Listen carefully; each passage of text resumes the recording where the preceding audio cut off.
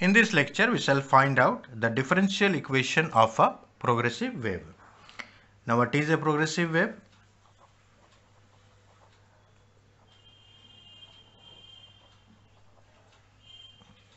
The progressive wave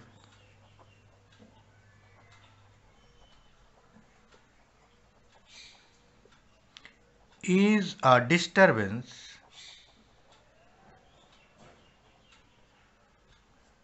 that passes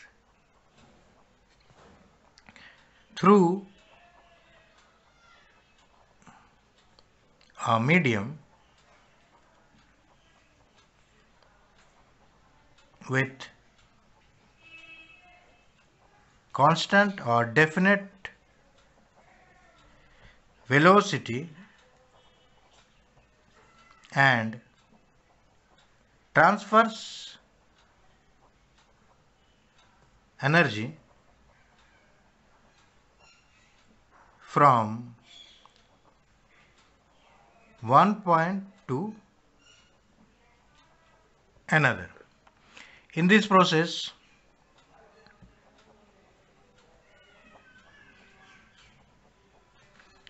no physical transport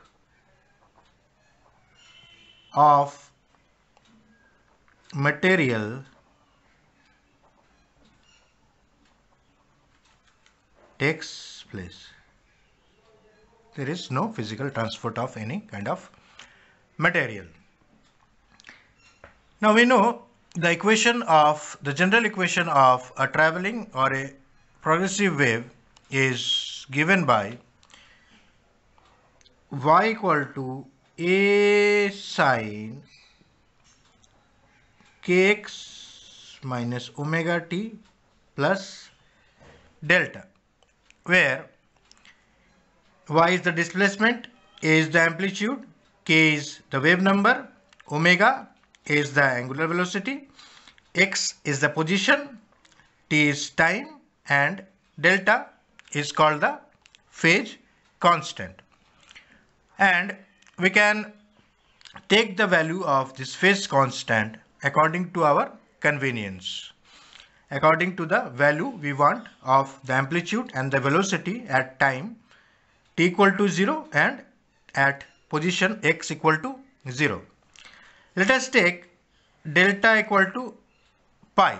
If we take delta equal to pi then this equation becomes y equal to a sine kx minus omega t plus pi and we can write it as a sine kx minus omega t plus pi. Now we can expand it according to as sine a plus b.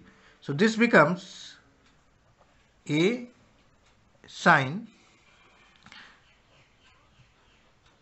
kx minus omega t cos pi plus sin pi cos kx minus omega t.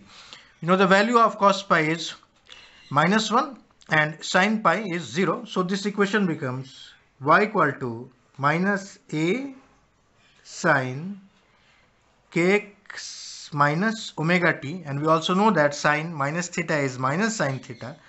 So we can write it as a sine omega t minus kx. So now we get the equation of the progressive wave in the form y equal to a sine omega t minus kx. We know the wave number k is equal to 2 pi by lambda where lambda is the wavelength of the wave and omega is equal to k into v where v is the velocity of the wave. So omega becomes 2 pi by lambda into v. So putting these values in the above equation uh, we have y equal to a sine in place of omega we write 2 pi by lambda vt minus in place of k we write 2 pi by lambda x. And this becomes a sine 2 pi by lambda vt minus x. So this is the traveling or the progressive wave equation now we shall find the velocity of the particle using this equation.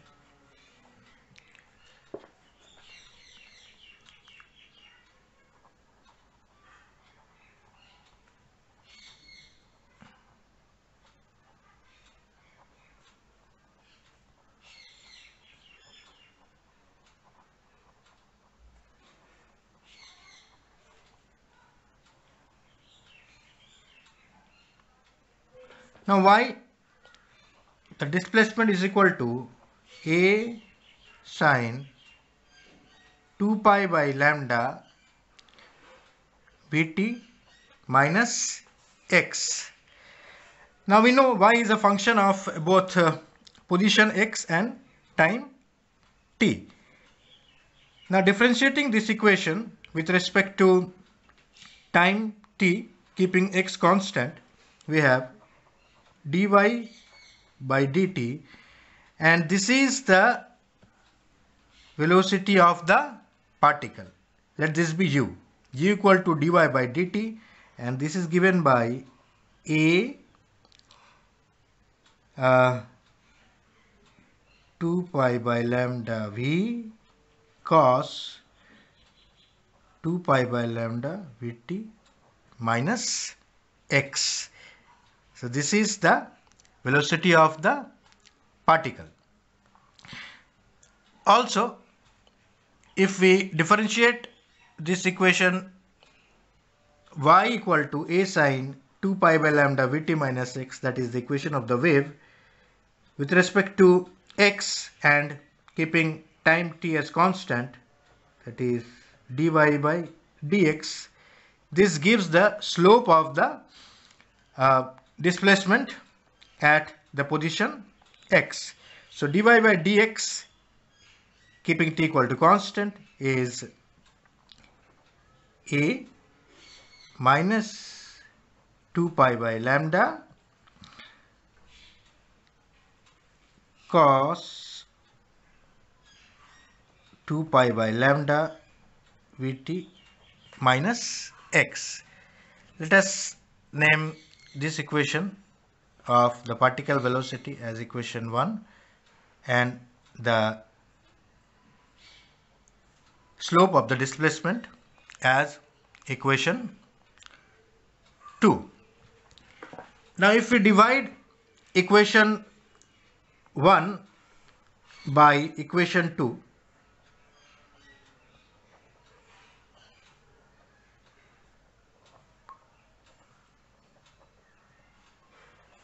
we have dy by dt by dy by dx.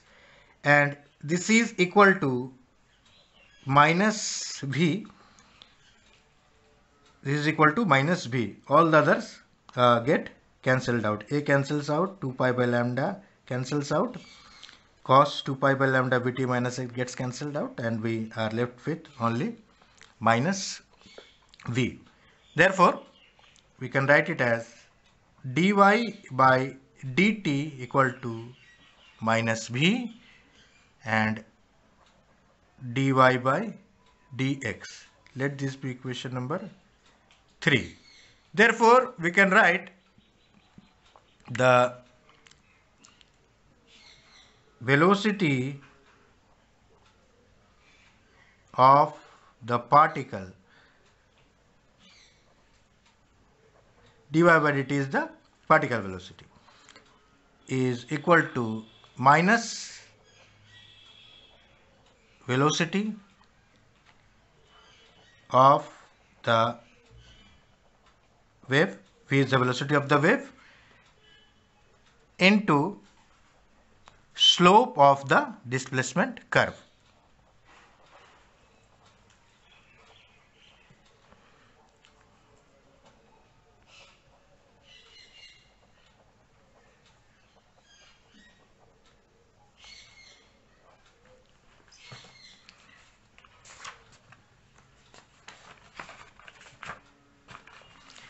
Now, if we again differentiate equation number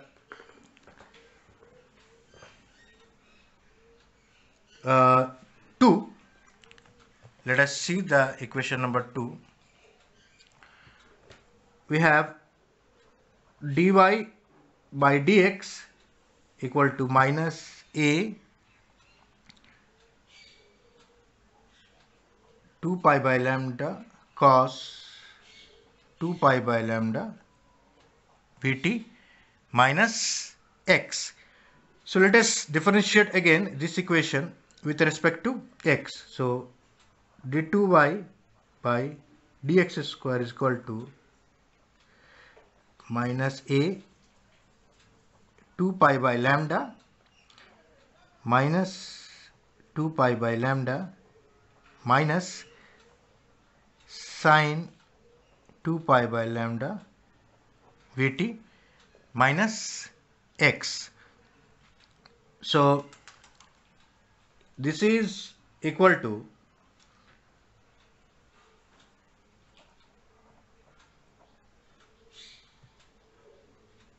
uh, this minus this minus plus and there is again negative here. So minus a 2 pi by lambda whole square sine 2 pi by lambda Vt minus x. And this can be written as uh, minus 2 pi by lambda whole square and a sine 2 pi by lambda Vt minus x now this sine 2 pi by lambda Vt minus x is y, the displacement. So we can write it as d2y by dx square is equal to minus 2 pi by lambda whole square y. And this is equation number 4. Now let us take equation number 1 this equation of the velocity of the wave u equal to dy by dt equal to a 2 pi by lambda v cos 2 pi by lambda vt minus x. Now let us differentiate this with respect to t keeping x constant. So we'll have d2y by dt square is equal to minus a 2 pi by lambda v and again 2 pi by lambda v and sine of 2 pi by lambda vt minus x. So uh, this becomes minus a uh, 2 pi by lambda whole square v square sine 2 pi by lambda vt minus x. And this is equal to dy by dt square equal to minus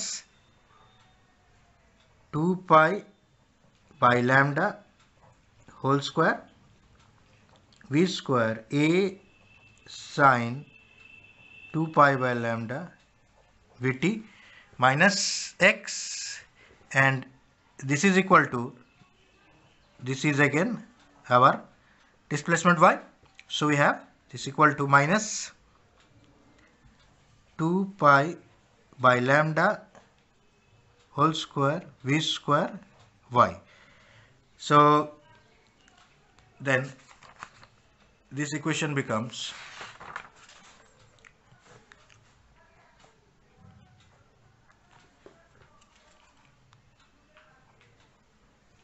d2y by dt square which is the acceleration. We can write it as this as f the acceleration of the particle.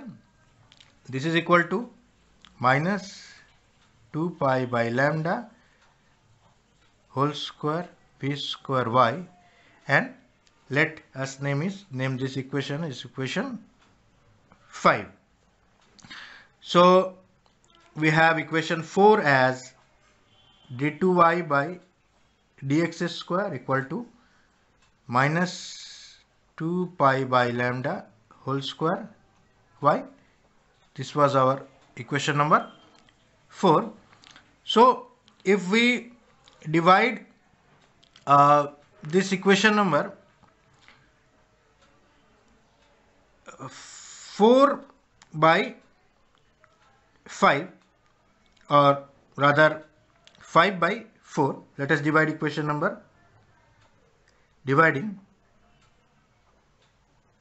equation 5 by equation 4 we get d2y by dt square by d2y by dx square is equal to v square or d2y by dt square equal to v square d2y by dx square.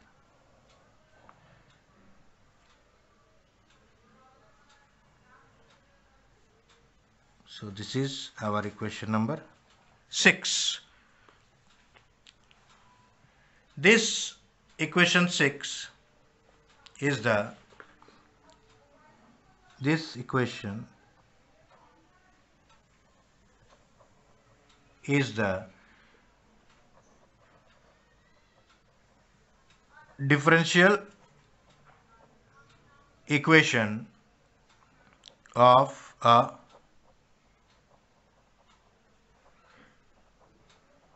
progressive wave. Therefore, we can write this equation as acceleration of the particle equal to v square that is the square of the velocity of the wave into rate of change of slope of the displacement curve.